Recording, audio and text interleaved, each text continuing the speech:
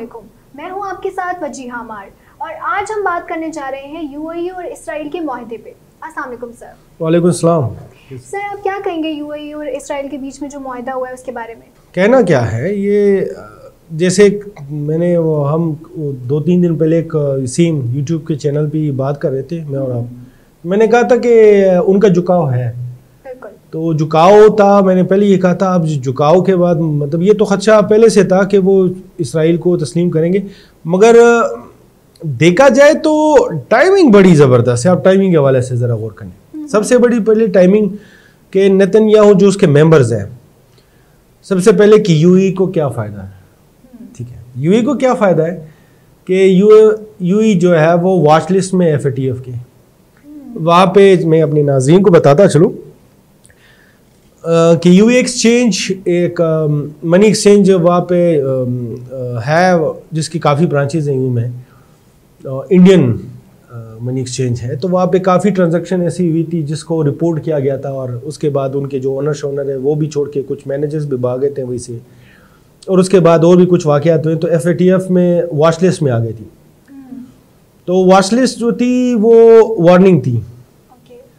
तो वार्निंग मिल गई तो उनको समझ भी आ गई और अब वॉच लिस्ट से वो हट जाएँगे और चूँकि डेफिनेटली फिर कुछ इन्वेस्टमेंट भी है, जो कि अमेरिका और दूसरी जो यहूदी लॉबी लॉबिंग जो है वो उधर से मिलनी है यूए को, क्योंकि गवादर पोर्ट बन रहा है, उनकी जो पोर्ट वाला सेक्शन है वो तो ऑलमोस्ट क्लोज ही हो जाएगा।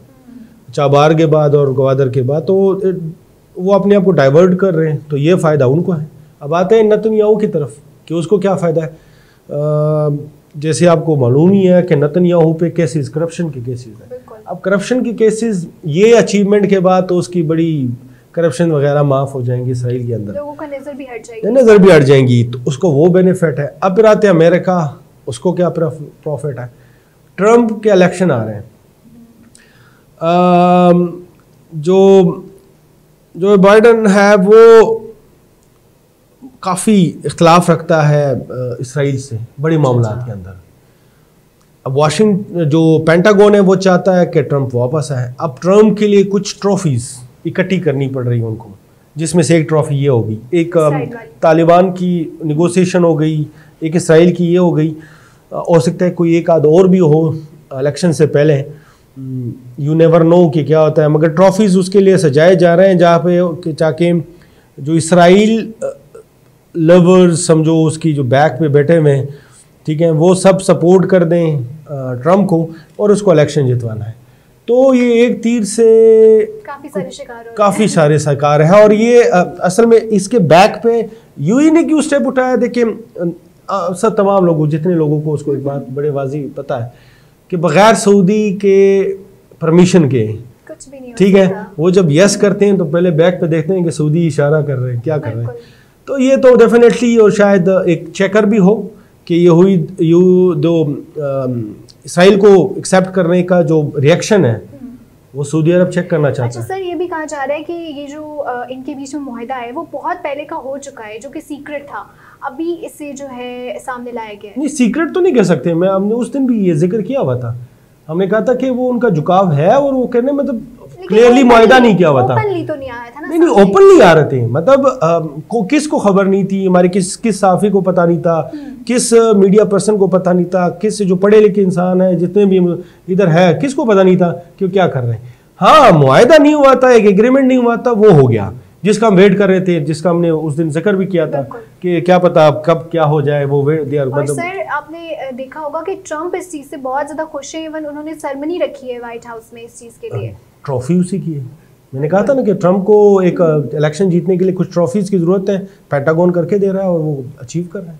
और आपको क्या लगता है कि मिडिल ईस्ट कंट्रीज़ जो हैं वो इसराइल को तस्लीम करेंगी?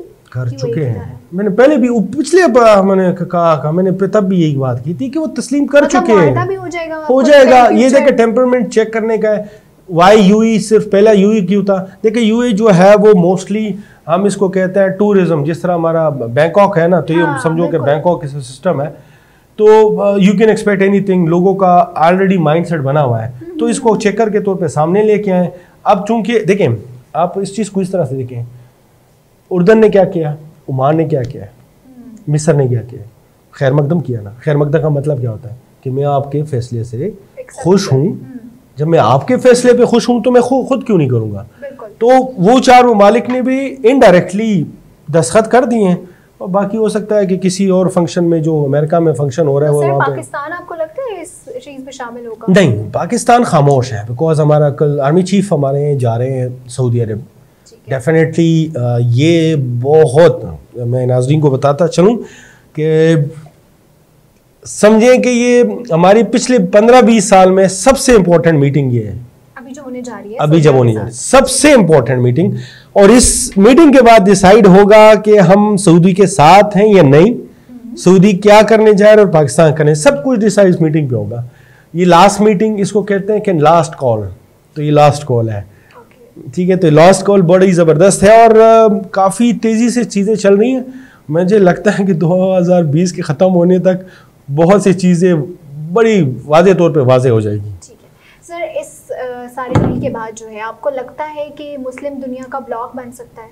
मुस्लिम दुनिया मुस्लिम दुनिया नहीं मतलब मुस्लिम जो ब्लॉक्स हैं वो डिवाइड हो सकते हैं। ब्लॉक तो बना हुआ है ओएसी था। हम्म, ओ तो है ना हमारा। ठीक। है? अब वो ब्लॉक डिवाइड हो सकता है। अब मैं इसको अगर इस फ्रेज में ले जाऊँ तो वो डिवाइड हो सकता है जी बिल्कुल डिवाइड हो सकता है। होगा भी। हो सर यूएई कह रहा है कि ये सारा जो हमने डील वगैरह किए ये- इसमें फ़लस्तीन का बहुत ज़्यादा फ़ायदा है।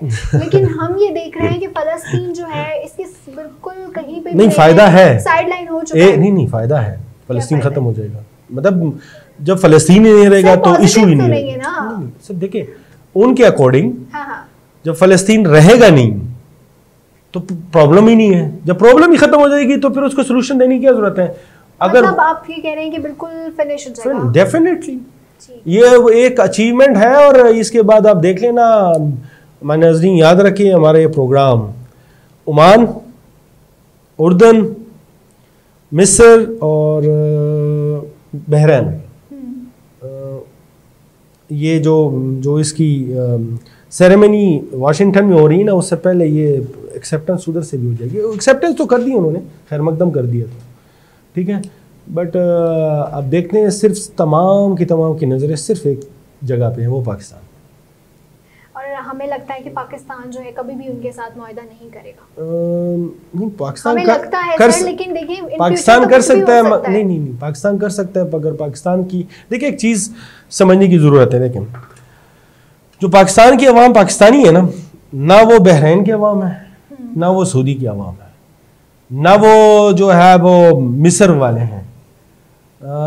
यहाँ पे डिसीज़न लेने से पहले ना आपको 740 दफ़ा सो की उठ के फिर सोचना पड़ेगा। मतलब फिर डिसीज़न ले सकते हमारी आवाम की राय इसमें मैटर करती है? मैटर करती है। सारे अगर हमारी आवाम की राय मैटर ना करती तो हो सकता है कि परवेज मुशरफ के दौर में हम उसको एक्सेप्ट कर चुके होते। हो अच्छा सर हम ये भी देख रहे हैं कि इस माहे का जो मेन रीज़न था बताया गया है कि पीस अमन लाना है और वेस्ट बैंक जो है उसके ऊपर से इसको इस इस क्वेश्चन को दोबारा रिपीट कर मैंने एक आज करना है। आपको या अब देखें हमारी मजहबी जमातें कौन सी हैं? जमात इस्लामी फजल मौलाना फजल मौलाना वो कहाँ पे हैं? क्रिकेट ग्राउंड से बाहर। ग्राउंड से बाहर बैठे हैं। हम्म, उनके लिए तो फुल टास वो भी नो बॉल पे है। और नो बॉल बेस है कि अगर ये बॉल मिस भी हो गया तो आगे भी दस नो बॉल आएँगे। इस तरह का सिचुएशन है। ये अगर गेंद उनको मिल गई चूँकि आपने ग्राउंड से बाहर बैठाया था तो वो जो चीज़ कर सकते हैं ना वो मेरी और आपकी सोच से बाहर है। तो मुझे उस हाँ, जो हमारी फौज इस्टेब्लिशमेंट फौज और गवर्नमेंट सब इस चीज़ को बखूबी जानते हैं कि ये ऐसा मौका है ना कि आपका इस्लामाबाद दस मिनट के अंदर दस मिनट के अंदर तमाम का तमाम इस्लामाबाद बल्कि क्या पाकिस्तान दस मिनट के अंदर जैम हो सकता है? इतना बड़ा इशू है इसराइल से रिलेटेड। तो ये मौका मुझे नहीं बत, मुझे आई, कोई कह भी दे तो मैं नहीं मानता कि ना गवर्नमेंट इस चीज़ में इतनी उसमें हिम्मत है कर सके ना हमारी इस्टेब्लिशमेंट में इतनी हिम्मत मतलब पब्लिक बहुत ज़्यादा मैटर ना बहुत बहुत बहुत मैटर करती है और इस मामले में तो बहुत ज़्यादा पीक पे। अच्छा सर मैं दोबारा से क्वेश्चन करूँगी। हम्म। मेरा क्वेश्चन ये है कि ये माहिदा जो है इसका मेन मकसद हमारे सामने ये आया है कि सबसे पहले अमन लाना ठीक है? अकॉर्डिंग टू देम कि अमन के लिए ये माहिदा किया गया है। उसके बाद जो है वेस्ट बैंक पे जो उन्होंने कब्जा किया हुआ है उनका कहना ये है कि वो ख़त्म कर देंगे वो कब्जा। लेकिन हमें डिफरेंट जगहों से ये भी सुनने को मिल रहा है कि ये कब्जा ख़त्म नहीं होगा ये सिर्फ़ डिलेड हो रहा है। तो आपको क्या लगता है ये अपने माहे पे पूरा उतरेंगे?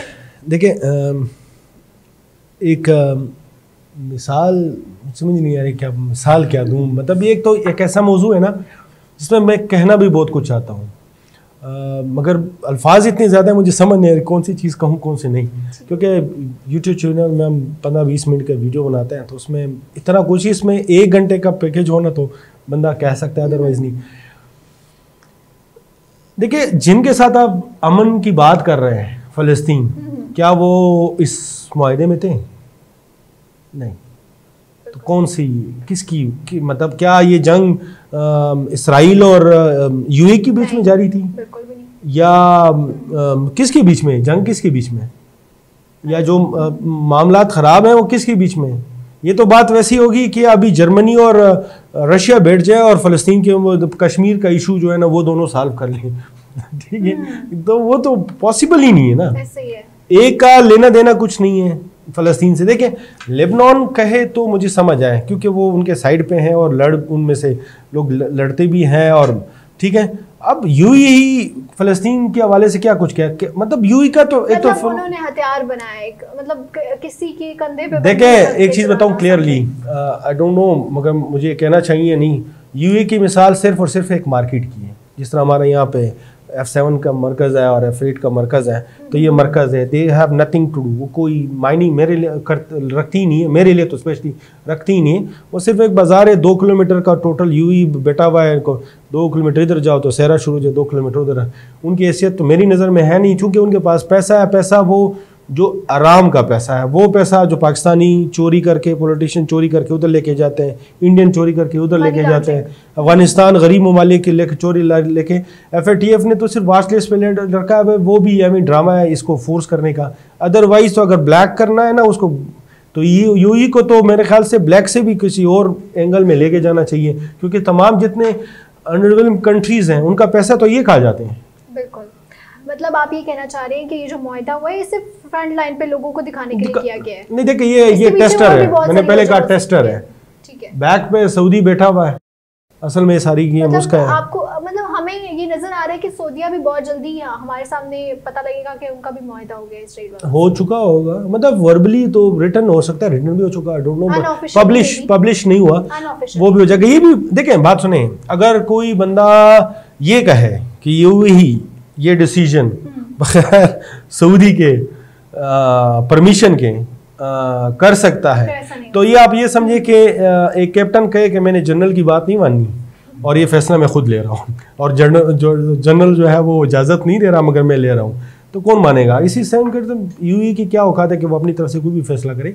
इट्स ऑल सऊदी अरब जो कि वो टेस्टर के तौर पे सामने आए लें जितना रिएक्शन आए तो यूई पे आ जाएँ ताकि वो लोग एग्री हो जाएँ। अभी इसके बाद हो सकता है एक दो और टेस्टर भी दें ओमान का या आ, मिस्र का या दूसरा एक दो तीन और छोटे ममालिक हैं वो दें। मेरा एक क्वेश्चन है कि अगर फॉर एग्जांपल और भी बहुत सारी इस्लामिक कंट्रीज़ सऊदी जब सऊदी अगर ऐसे मुआहदा कर सकती है फॉर एग्जांपल तो बाकी क्यों नहीं कर सकती? तो आपको लगता है कि इन फ्यूचर में पाकिस्तान अकेला रह सकता है? नहीं नहीं देखिए एक चीज़ बताऊँ। मुझे मुस्लिम कंट्रीज़ में मलेशिया कभी भी तुर्की नहीं करेगा। तो हाँ।